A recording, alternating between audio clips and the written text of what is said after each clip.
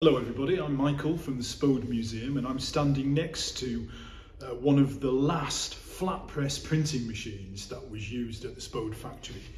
It's very typical of the printing technology that was used in the late 18th and early 19th century to produce transfer printed ware.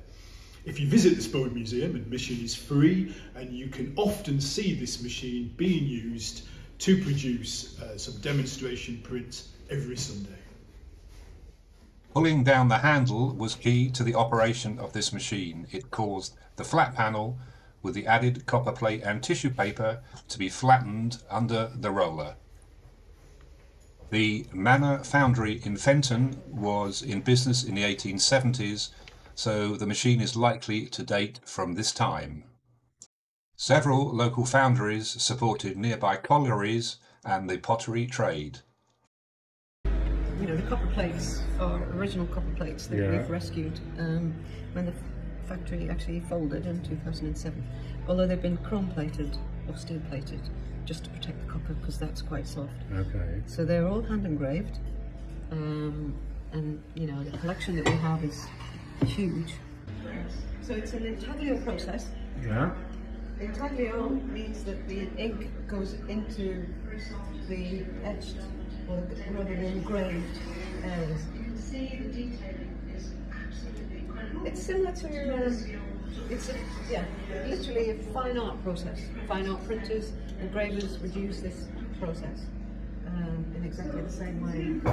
The difference is the substrate that we use to transfer the image is a tissue rather than a, a, a print paper, you know, watercolor Yes, paper. but Transfer printing uses ceramic pigments like cobalt blue mixed with oil rather than printers' inks as the pigments were designed to withstand firing and bond with the glaze. Or ceramic tissue paper. Printer's ink by itself would have burned off in the kiln.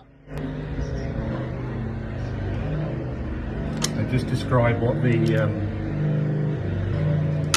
the pattern is. What, what This is a willow. It's a version of a willow. Okay. I mean, there were sort of many variations on the willow pattern, which obviously was influenced by the um, influx of Oriental imagery. So this is a westernized version Yes. of the Oriental um, No, you can yeah, you can see it much more clearly now Yeah, that you you've can, uh, yeah. taken this, the excess Yeah. off. Yeah.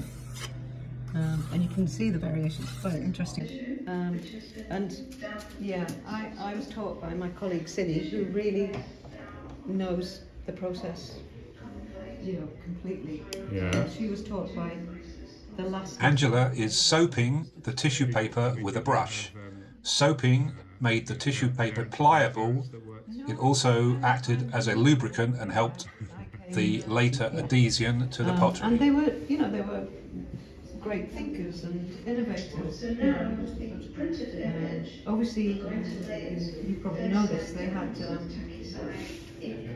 you know, the the Enlightenment. Watch the movement of the press as she pulls the lever towards her. There is no film of the flat press in use on the factory floor, but here are some still images of the press being used by Chris Gibb in the last days of Spode.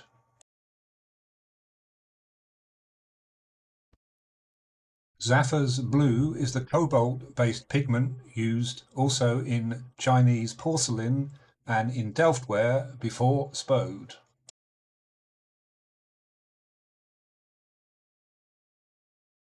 I'm standing here next to a roller press, which was the technology that replaced the flat press. Um, in the 1840s, technology started to move very quickly and new innovations occurred. Uh, by the 1850s, these roller presses were being installed at this factory to replace the flat press printers.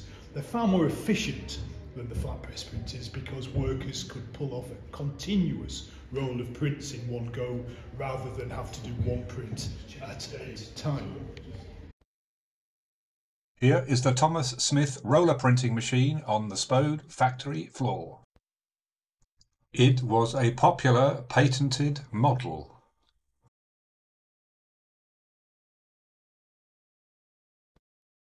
The mixed pigment is applied to the roller with the copper engraving and a continuous roll of sized and soaped paper with transfers of the Camilla pattern is printed off. After application to the biscuit plates, they would go to the kiln for hardening on. This is the paper feed, which would have fed paper into the roller press. We're in the process of recurating this printing display at the moment, so it's not set up exactly as it should. Now, this machine was first introduced in the 1950s, and like the much earlier roller press, they far outlived their expected lifespan and were still in use at the factory even in the last days of operation. They'd just been adapted to be electronically, electrically run rather than uh, using traditional methods of, of power. So fantastic pieces of kit, all made locally.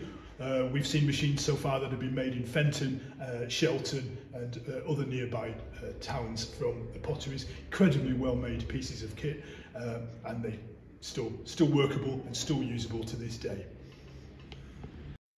The Paton sizing machine made by Hartley's of Stoke-on-Trent was an indispensable partner of the roller printing press. It supplied a dried printing paper of the right size for the needs of the potter's specific production run. The paper could be electrically or steam heated. Here are pictures of the two machines on the Spode factory floor. We're here at the Murray Curvex printing machine now, which was the last great innovation for copper plate printing. This particular Murray Curvex machine was used for printing backstamps onto the back of ware. This technology uh, is incredible technology and is still used in many uh, pottery factories to this day. It was developed at Spode in the 1950s by a very clever inventor called Guy Murray. Um, unfortunately for the factory, Guy Murray somehow managed to keep ownership of the patent of this machine for himself, even though the development of it was funded by, uh, by the Spode factory. Um, had the factory kept the patent for it for themselves, then they would have um, had um, a great financial interest, I think, over since that time. The Murray Curvex printing machine transformed how patterns were applied to curved surfaces in pottery. The Murray Curvex used a gelatine mould to transfer intricate designs with remarkable speed and accuracy. The process began with an engraved metal plate which held the pattern. Ink was applied, then transferred onto a rubber pad that wrapped around the curved surface of cups, jugs, and bowls, ensuring a perfect print every time. This machine revolutionized mass production for companies like Spode and Burleigh, allowing them to decorate ware more efficiently. Even today, smaller versions called Mini Curvex, such as now in the Spode Museum, are still used for backstamping marking the identity of each piece.